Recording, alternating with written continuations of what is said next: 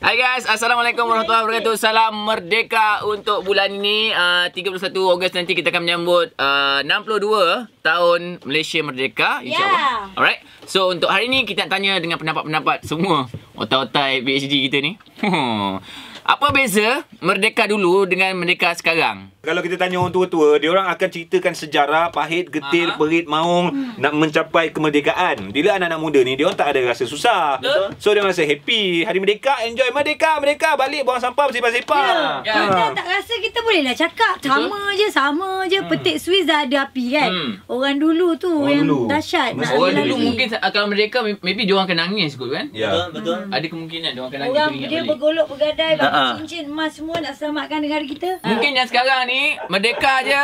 Pergi selfie update ha, dah. merdeka dah. Tapi Dan merdeka Sebenarnya kalau kalau kita tengok TV, uh, terima kasihlah kepada TV-TV yang keluarkan sejarah dan juga dokumentasi, Betul, betul. dokumentari tentang hari kemerdekaan. Tengok betul-betul sebab sekarang ni barulah aku faham bila dah tua-tua ni bila kita tengok baru kita faham pengertian kemerdekaan. Ya. Macam mana negara lain berperang, bermandi darah Betul. untuk mendapat kemerdekaan. Kita dengan jasa Tunku Abdul Rahman Mm-hmm. hanya dengan uh, apa kertas dan juga pe, apa meeting kita dapat kemerdekaan. Ah. Untuk uh, generasi sekarang, peperangan kita adalah peperangan untuk bagaimana nak kekalkan perpaduan. Ah. Ha, sebab kalau kita tengok uh, sekarang ni, yelah masing-masing menyuarakan pendapat masing-masing, ya, masing-masing nak, Nak mengatakan ha, ini tak betul, itu tak betul dan sebagainya. Jadi sebenarnya itu peperangan untuk diri kita sendiri. Ya. Ha, macam mana kita tak terlibat dengan peperangan tapi kita nak jaga negara kita ni. Macam-macam benda kita boleh buat. Kalau ikutkan sekarang pun Hmm. prajurit kita, tentera kita ni kat sempadan ni penuh. Ya, orang Tengah tengah kontrol. Kalau dia orang duduk tak buat apa-apa, Ah. matilah. Bayangkanlah uh, tentera laut Yang kita buat yang apa-apa yang kita sebenarnya. Ha, kita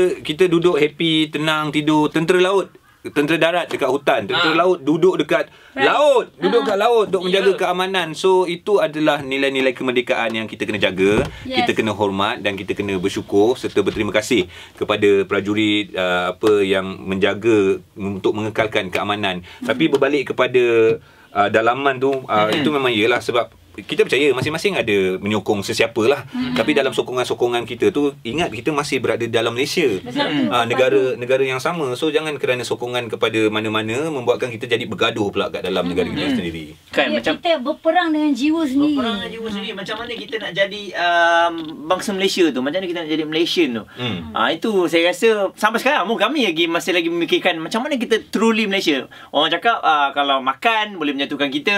Tapi sekarang makan je Habis meja makan Semua dah jadi Dah- Masing-masing. dah tak- dah kan? Ha. Sukan Oh sokong. Habis je bola Habis. Habis, je badminton. Okey dah balik Jadi juga macam dulu Macam Ah. susah Dulu, Ah. oi, dulu yang sampai ambil jadi anak angkat Ah. kan betul-betul. Lepas tu uh, tolong susah ke apa ke memang dulu memang, memang ada tau. Yes, uh, lepas tu masyarakat uh, yang uh, bukan satu bangsa dengan kita, kalau kat kampung nak makan masakan Melayu contoh, hmm? dia akan eh boleh tolong masakkan ke? Dia akan Hmm, beli barang-barang dibagi dekat kita contoh mak mak saya sendiri pun masih lagi macam eh aku nak makan uh, ni ah masak uh, merah lah boleh tak kau buatkan? Dia bagi ikan ke apa ke?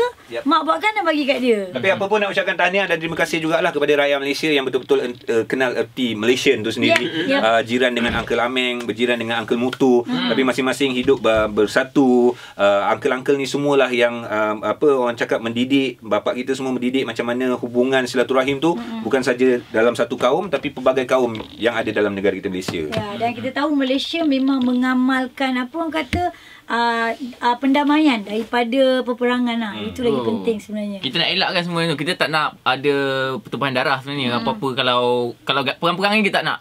Kita kalau boleh semua nak Tak nak takut lah bincang. Takut ada anak bini semua Kalau kata erti kemerdekaan dulu dan sekarang Merdeka itu tetap sama Pengisian dia tetap sama Nak menjaga keharmonian Nak kekal Nak je. kekalkan Dan kita harap tak adalah anasir-anasir Dalam dan juga luar yang boleh Membuatkan negara Betul. kita bergolak Kita ni nak nak nak membina negara ni mengambil masa yang lama tapi nak memecahkannya dalam masa beberapa hari saja kita boleh berperang itulah dia kan Hmm. Ha alright So Fikirkan eh, fikirkan eh. Boleh komen juga dekat bawah guys. Apa pendapat korang pasal tajuk ni? Kita jumpa next. Borak tepi. Ciao.